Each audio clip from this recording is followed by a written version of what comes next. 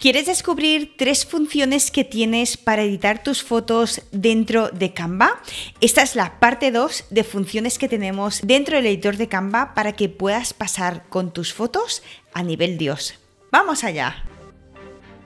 Hola, ¿qué tal? Yo soy Lola Digital, soy Canva Expert y si lo que quieres es aprender sobre redes sociales y aprender sobre Canva, este es tu canal. Hoy voy con esta parte 2 de opciones que tenemos para editar nuestras fotografías en Canva y que puedas pasar a nivel Dios con tu editor de fotos de Canva y sin necesidad de herramientas de terceros. Pero antes déjame comentarte que si no has visto la parte 1, la tienes dentro de mi canal de YouTube para que puedas ver también otras tres funciones y hoy vamos a ver otras funciones que son súper interesantes para que puedas seguir editando tus fotografías dentro del editor de Canva. Si te fijas, ya estoy dentro del editor de Canva y lo voy a hacer con una fotografía mía. Normalmente suelo utilizar fotografías del banco de imágenes que tenemos en Canva, pero lo vamos a hacer con una fotografía mía para que veas que tú también lo vas a poder hacer con tus propias fotos, ya sean tuyas de tu propia marca personal, de tu equipo, de tu empresa, pero que también vas a poder hacer pues de tu negocio, de tu local, de tu oficina, de tus productos también y que vamos a ver en la primera opción que sería el poder eliminar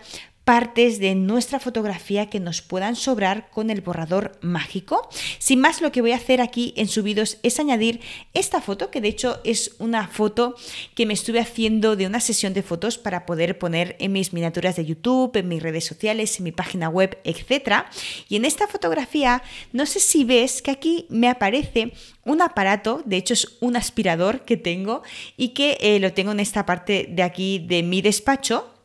y lo que quiero es eliminar este objeto. Esto también lo podrías hacer con personas. De hecho, te subí un reel no hace mucho dentro de mi perfil de Instagram para que también vieras cómo se hace con personas, pero que también podrías hacer a lo mejor con un cable que tienes dentro de tu mesa y que quieres eliminar ese cable, con un móvil que a lo mejor está traspapelado, quieres que no se vea, o por ejemplo con este aspirador y quieres eliminarlo de tu fotografía.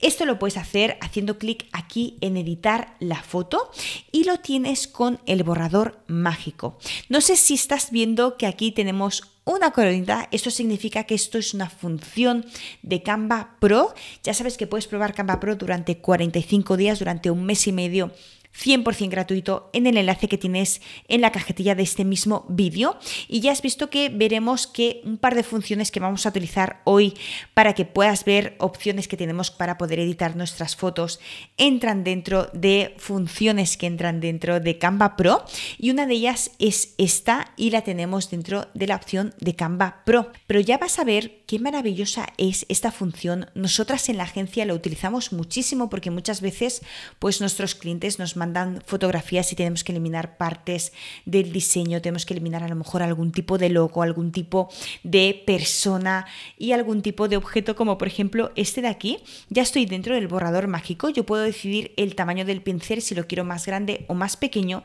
y tal cual voy a hacer un clic para buscar y para seleccionar este aspirador y que de forma automática me lo vaya a eliminar Canva. Vamos a ver cómo se elimina ya lo tenemos eliminado. No se nota que aquí había ningún tipo de aspirador y esto también lo podríamos hacer a lo mejor con los pomos, con esta parte de aquí arriba y que podamos eliminar partes de nuestra fotografía para poder limpiarlo a lo mejor de objetos o de personas. Y ya directamente hago clic aquí atrás y ya tenemos la foto totalmente limpia sin este objeto que nos estaba molestando. Te cuento la segunda función que tenemos en Canva. Esto es una función 100% gratuita. He vuelto a hacer clic encima de la foto y aquí voy a hacer clic de nuevo en editar la foto, pero me voy a ir en la opción de ajustar. Por un lado, aquí en ajustar lo que podemos hacer es poder tocar toda la parte del balance de blancos, la iluminación y el color.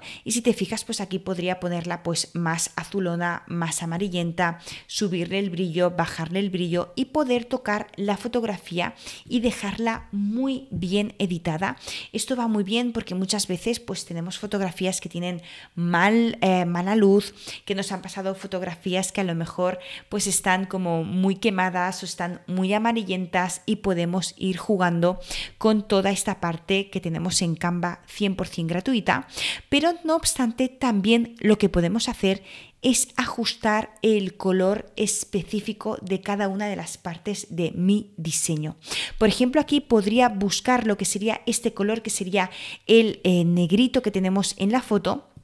y yo puedo jugar con el matiz de la foto, puedo subir y bajar lo que serían estos tonos, subir y bajar el brillo de lo que sería solamente la parte negra y mantener toda la otra parte de la foto. Lo mismo lo podría hacer a lo mejor con el azul de subir y bajar lo que sería el tono del azul. Fíjate cómo aquí la cortina se está moviendo el matiz de la foto. Podemos jugar también con la saturación de lo que sería el azul o incluso subir y bajar el brillo. Esto es espectacular porque muchas veces tenemos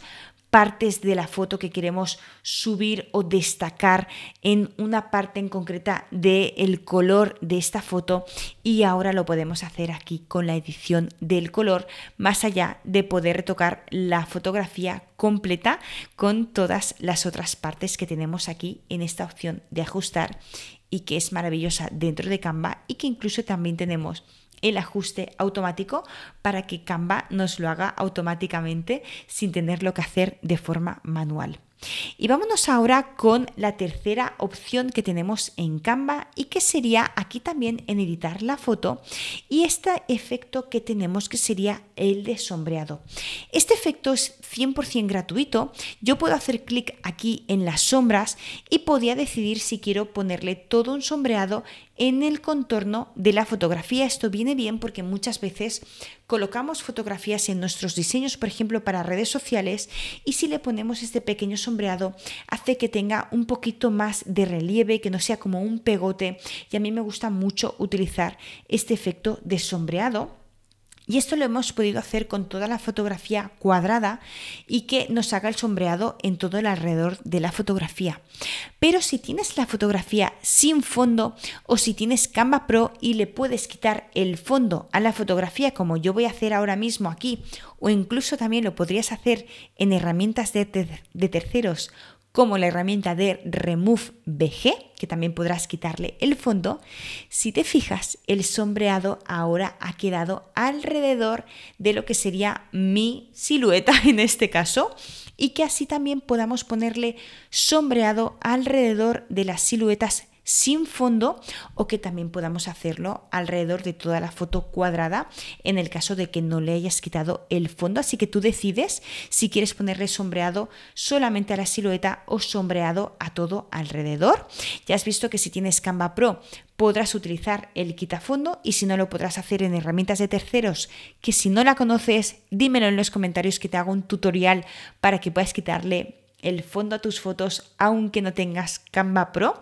así que te leo en los comentarios si quieres este tutorial. Y ahora aquí le he añadido este sombreado, yo podría hacerlo aquí como más grande, colocarlo en una esquinita de mi diseño, ponerlo por ejemplo por aquí y aquí acabar de hacer mi diseño con este sombreado que le he podido poner alrededor. Así que aquí te he compartido estas tres funciones que tenemos en Canva, sombreado, borrador mágico y también el poder ajustar el brillo, el contraste, la temperatura y también poderlo hacer por colores. Y estas funciones muchas veces no las conocemos y viene bien que las sepas porque yo hasta hace relativamente poco editaba mis fotografías fuera de Canva pero me he dado cuenta que el editor de fotos que tenemos aquí en Canva es maravilloso, tiene muchísimas funciones